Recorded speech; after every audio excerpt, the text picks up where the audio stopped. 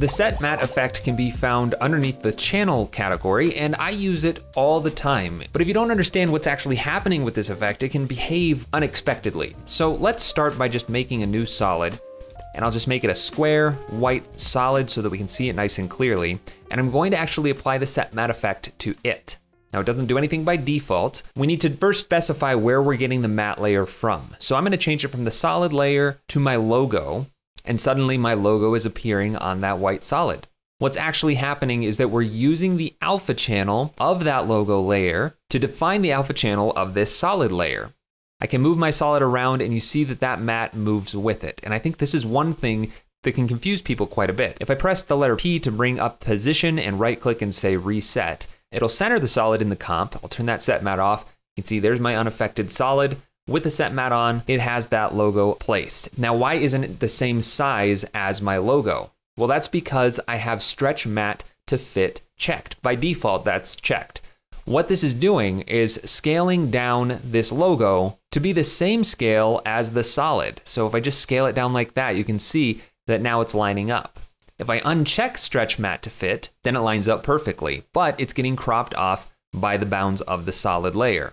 And as I move stuff around, you can see that these two layers are completely independent of each other. Doesn't matter what I do to my source of the matte, I could scale it down, rotate it, reposition it. Set matte is only looking at the untransformed version of that logo. All right, let me get back to where we were.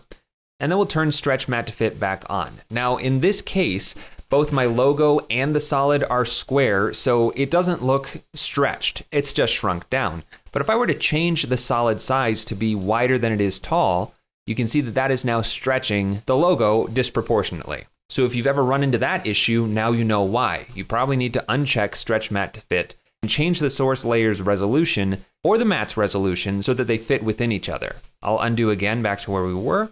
The next option is composite matte with original. And I'm actually gonna jump into another comp. In this comp, I have a photo of just some stone or concrete that I'm going to use as a matte for my logo. So this time on the logo, I'm going to apply the set matte effect, and I'm going to change the take matte from layer to this photo layer. Nothing has happened yet because we're still just using the alpha channel, but if I drop down this list, we can base it on any one of these channels. And the one that I wanna use is the luminance or the brightness values of the photo. So if I click on luminance, my logo is now semi-transparent and it's based on the luminance values of the photo behind it. And to make it even more apparent, I'm going to add a levels effect to that photo and then just increase the contrast of that photo. Now, nothing has actually happened to the set matte effect because by default, we're only looking at the source of that layer. We're not taking into account any effects applied to that source. So I need to go to this drop down right here and tell After Effects, also look at the effects and masks on that layer to generate the matte for this layer. So I'm gonna change this to effects and masks, and right away that transparency gets a lot more drastic. If I turn off that background photo, you can see that texture is defining the alpha channel for my logo. Now, stretch matte to fit is checked on by default, so that texture is being scaled down since this photo layer is much larger than my logo. If I want that texture to line up, then all I have to do is uncheck stretch matte to fit. And now the photo and the texture are the same size, the same scale, and the same position. Again, I cannot shift that texture around. It's always going to be centered on the layer regardless of what I do to the source. So be aware of that. But now it's at least scaled properly. The next checkbox is composite matte with original. If I uncheck that, you can see that it's basically disregarding the alpha channel that my layer originally had. It's not often that you would ever want to uncheck that, so probably just leave that checked by default. And finally, we have the ability to pre-multiply the matte layer or not pre-multiply it. Now, the power of the set matte effect is if you had many layers that you wanted to use the same matte for, you can now apply it as an effect rather than a track matte and needing multiple instances of this layer for every one of those duplicates. So if I were to bring in the text version of my logo and copy and paste that set matte effect to it, now both of these layers are using the same source as the texture matte, and whatever I do to that texture matte, like decrease the contrast, maybe pull up the midtones a little bit, will be reflected in both instances. And while there are some limitations to this, you just have to think about it in the right way. Imagine this matte layer is now parented to each layer that you've applied set matte to. Wherever you move the affected layer, the matte layer moves with it. And if you need to adjust the positioning of that matte source layer, you could add a transform effect. And because we have the effects and masks checked right here in the set matte effect, whatever I do with this transform is going to be reflected in the alpha matte. So if I adjust the position, you can see that it allows me to shift it around. I could scale it up or down. I could even rotate it if I wanted. The only limitation here is that the matte is going to be reflected exactly the same in both instances. And if I were to scale one of these down, the matte layer is going to scale with it. Now, if I do the same thing, but using a text or a shape layer, which are vector, meaning they're continuously rasterized, then we're gonna get a different result. So let me add the set matte effect, set matte effect to the text layer, and I'm gonna use that same texture layer as before. Uh, so I'm gonna grab that texture here, and I want to again change this from alpha channel to being the luminance.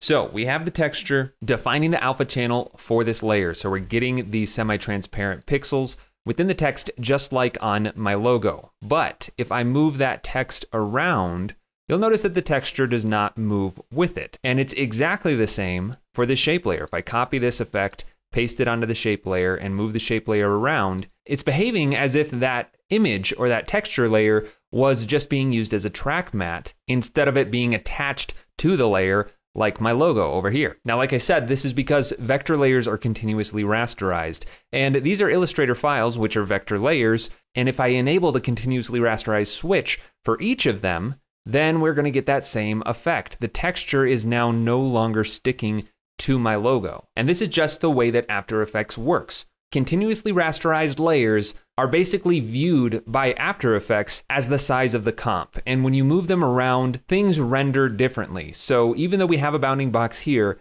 After Effects is basically looking at the bounds of the comp and saying that's where the texture needs to be applied to. And since the comp's not moving around, the texture shouldn't. So one way to get around this is to just pre-compose whatever you're applying the texture to. If you want the texture to be locked in, just pre-compose it. Control Shift C is the shortcut for pre-compose, and I'll call this circle.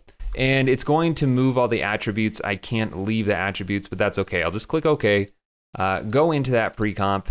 It's moved that texture and the set matte effect into here, but I'm just gonna get rid of it really quickly. And while we're at it, let's just center that up by pressing Control Home or Command Home on a Mac, and then go to Composition Settings, and I'm gonna scale this down to say 350 by 350 so the comp matches the size of my circle a little bit better. All right, so now we have a pre-composed shape layer, so we no longer have access to that vector continuously rasterized edge. You see when I scaled it up, I now have a fuzzy edge. But let's say I'm not really worried about that. It's not gonna be scaled up. I'll apply set matte again, grab that texture layer and set it to luminance, and now the texture is stuck with it. But keep in mind, if I were to continuously rasterize that layer, my texture updated, and now that texture is not moving with it once again. So I know that behavior is a little bit weird, but just keep it in mind as you're working with these types of effects, and really any effect, if you ever expect it to be behaving a certain way and it's not, think through, is this layer vector, like a text layer or a shape layer, or is it being continuously rasterized, like a pre-comp? And just try turning off continuous rasterization and seeing if it works the way you want it to then, or pre-compose the shape layer or text layer, and nine times out of 10, that's going to fix your problem. But I use the set matte effect all the time in my own workflow. It's super convenient and a really great alternative to track mattes.